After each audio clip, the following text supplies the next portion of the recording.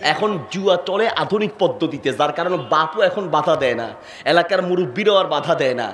এলাকার চাচা জেঠারাও আর বাধা দেয় না। কারণ আগে তো জুয়া খেলতো, ঘরের পিছনে, তারপরে বাথরুমের পিছনে বাসমুরার তলে, বিভিন্ন ঝোপে ঝাঁপে গিয়ে জুয়া খেলতো, টাস খেলতো, লুডো খেলতো। আমরা মনে করতাম জুয়া খেলতেছে। মাঝে মাঝে পুলিশ এসে বাড়ি দিত, মুরব্বীরা এসে ধমক দিত।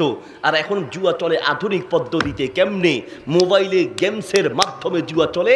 এটা যে জুয়া বুঝেই না। মুসলমান, প্রকাশ্যে জুয়া খেলা যেমন হারাম, মোবাইলে জুয়া খেলাও ঠিক তেমনি হারাম। কেমন পর্যন্ত হারাম। এটাকে হালাল করার কোনো অধিকার পৃথিবীর মানুষের নাই, ঠিক কিনা? আর নতুন আরেক পদ্ধতির জুয়া। খেলছে কাতারে, খেলে ফুটবল, খেলে ক্রিকেট, আর ঘরে বসে বসে জুয়ার বেট ধরে, কি? জুয়া কেমনে ধরে? কয় যে, এই দল যদি জিতে, তাহলে এত টাকা। আর এই দল যদি না জিতে, এত টাকা। গোল দিতে পারলে এত, না দিতে পারলে এত। এই ওভারে উইকেট পাইলে এত, না পাইলে এত। ঠিক না? বিভিন্ন আইপিএল খেলায় এইরকম টাকা দর ধরে। ওয়াল্লাহ তাল্লা বিল্লাহ, আল্লাহর কসম করে বলছি তুমি এই ধরনের যে জুয়া খেলে, এই ধরনের যে জুয়া খেলায় অংশগ্রহণ করছ, আল্লাহর নবী বলেন সালা সাতুল্লাহ তাদের হরুন আল জান্না, তিন ধরনের ব্যক্তি জান্নাতে যেতে পারবে না। এক, মান্নান, যারা দান করে মানুষকে খোটা দেয়। দুই, আলা কুলি ওয়ালিদাইহি, যারা পিতামাতার অবাধ্য হয়। তিন তিন নম্বর, আল কম্মার, যারা জুয়া খেলে, যারা অংশগ্রহণ করে, যারা সুযোগ করে দেয়, যারা সমর্থন করে, এরা আল্লাহর জান্নাতের মেহমান হতে পারবে না। তোমার পছন্দ হোক বা না হোক, এটা অরিজিনাল কথা। পছন্দ হোক বা না হোক, সারা দেশে চলছে, সারা বিশ্বে জুয়া খেলা চলছে। তুমি মনে করছ? আর্জেন্টিনার ব্রাজিল খেলছে, ওই খেলছে, সেই খেলছে।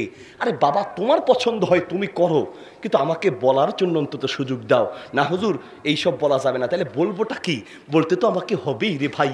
তুমি এদিকে যে খেলতে পারব অসুবিধা নেই, তবে খেলার জন্য শর্ত আছে। এটা মনে একটা খেলার মাঠ, ঠিক না? তো খেলার মাঠে ওয়াশ করব।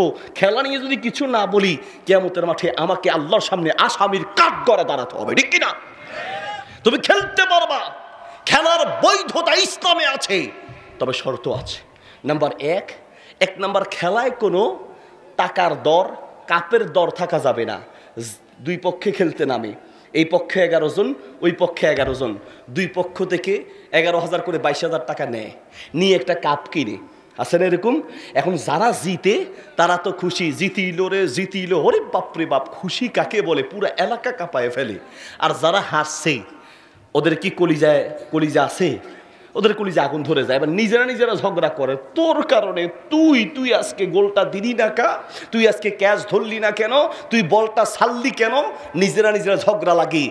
যেই খেলা মারামারি শিখায়, যেই খেলায় টাকা উড়াতে হয়, যেই খেলায় টাকার দর থাকে, যেই খেলায় ঝগড়া সৃষ্টি হয় কেমন পর্যন্ত এই খেলা হারাম খেলা।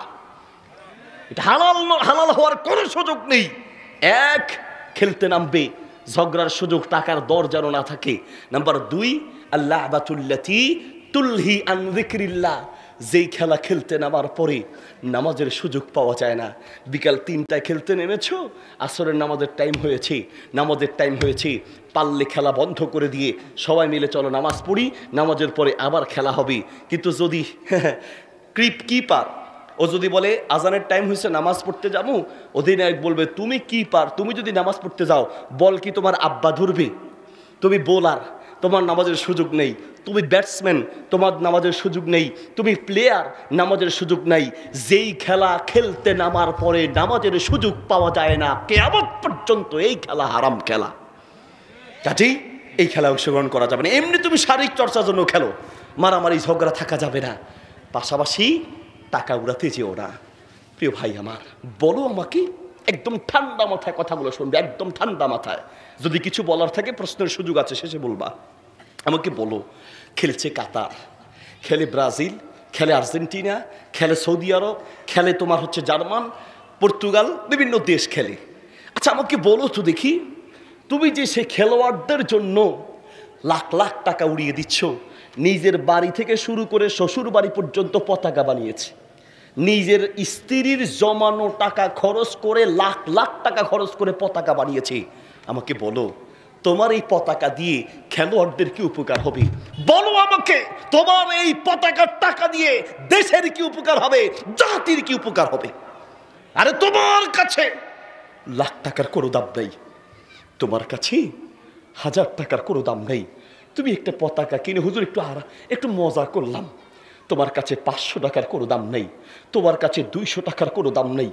তুমি কি জানো, এই দেশের মাটিতে, আমি আমার দেশের কথা বলছি, এই দেশের মাটিতে এমন বহু রিক্সার ড্রাইভার আছে, সকাল থেকে সন্ধ্যা পর্যন্ত পাঁচশো টাকার জন্য মাথার ঘাম পায়ে ফেলে রিক্সার হ্যান্ডেল চালাইতে হয় শুধু পাঁচশো টাকার জন্য।